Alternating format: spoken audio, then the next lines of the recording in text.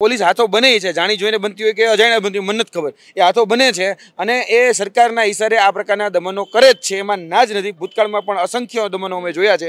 એટલે આ પોલીસના ઈશારે આજે દમન કરી રહ્યા છે એને પણ કહેવાનું કે ભાઈ તમે- જ્યારે આંદોલન કરતા હતા ત્યારે એમની સાથે શું થતું?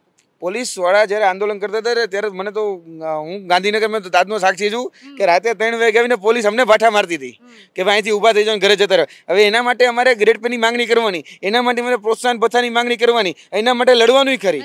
અને પોલીસ હા આમ પાછું અમારે કહેવાનું કે અમે પોલીસ પરિવારમાંથી આવીએ છીએ. એટલે પોલીસ પરિવારના કહીને અમારે આંદોલન કરવાનું. તમે વિચારો કે આ બધી જ જગ્યાએ અમે એની સાથે ઊભા રહીએ છીએ હક અધિકાર માટે લડતા આવીએ છીએ. ત્યારે અમારા અધિકારોનું અમારા જે વિદ્યાર્થીઓનો હક અધિકાર કે ન્યાયનું જ્યારે હનન થાય છે ને ત્યારે અમે ત્યાં આંદોલન કરવા માટે મજબૂર થઈએ છીએ. ત્યારે ગાંધીનગરમાં આવવાનો કોઈને શોખ નથી, ગાંધીનગરમાં આવું અમારી મજબૂરી છે. આંદોલન કરવું એ પણ અમારી મજબૂરી છે. કારણ અમારે કંઈ શોખ છે? કે હાલો હવાર ઉઠીને કયું આંદોલન કરવું જેવું તો હોય નહીં કોઈના મનમાં. બટ ઓબ્વિયસ છે. તો આ સમજો કે તમામ પ્રકારના જેની પાસે પાવર છે સત્તા છે એનો ગેરઉપયોગ કરવામાં આવે છે. હું શબ્દો બહુ સમજી વિચારીને વાપરું છું. આટલી બધી જ જો ચરબી હોય તો ખરેખર હું તો હજી પણ સ્પષ્ટતા સાથે કહું છું કે પ્રશાસન તંત્રમાં કે વહીવટી તંત્રમાં આટલી બધી જ ચરબી હોય તો હું ચોક્કસપણે કહું છું તમારે રાજકોટ અગ્નિકાંડના જે આરોપીઓ છે ને એની ઉપર તમારી આ ચરબી દેખાડાય. એને આ તેજસને જે રીતે ડીંગાઢોડી કર્યા ને એ રીતે એની એની પણ ડીંગાઢોડી કરાય. તમારે અત્યાર સુધીમાં ગુજરાતની અંદર ચોવીસ પેપર લીક જ થયા. ઉત્તર પ્રદેશની અંદર જે પેપર લીક થયું ને એના તાર પણ ગુજરાત સાથે સંકળાયેલ છે. આ રાજસ્થાનની અંદર પેપર લીક થયું ને એના તારે ગુજરાત સાથે છે અને બિહારની અંદર અત્યારે જે નીટના પેપર કૌભાંડના જે આવે છે ને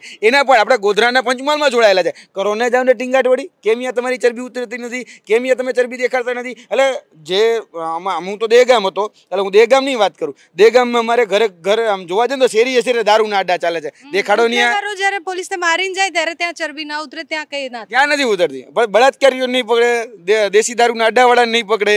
અ, બુટલેગરોને નહીં પકડે આ હકીકત છે પણ સામાન્ય વ્યક્તિ કે એક ખરેખર જે પોતાની વાત પોતાની વેદના પોતાની જે વ્યથા એ લઈ અને જ્યારે ગાંધીનગરમાં આવે છે તો ચરબી દેખાડવા અહીંયા આવી જાય છે તમારામાં તાકાત હોય તમે એટલા જ પાવરતા હોય તમારી પાસે સત્તાનો એટલો ઘમંડ હોય તો ચોક્કસપણે કહું છું તમારા સત્તાનો ઘમંડ પણ તમે એવા વ્યક્તિઓ પાસે ઉતારો જે ખરેખર એના માટે ઈ લાયક છે અને એના માટે અહીંયા ઉતારવો જોઈએ तरफ देखा जाए जैसा आपने बोला कि सात हजार पाँच सौ की जाहरात आई हुई है उस पर विश्वास करने जैसा है कि नहीं हम उसका स्वागत करते हैं लेकिन हम विश्वास कैसे करें जो सत्ताईस सौ पचास की विद्या सहायक की भर्ती है वो जब मंजूर होकर नहीं हो रही है ये तो खाली मंत्री जी और मुख्यमंत्री जी ने ट्वीट किया और मुँह से बोला हुआ है। तो हम कैसे विश्वास करें कि तीन महीने के बाद ये भर्ती की जाएगी?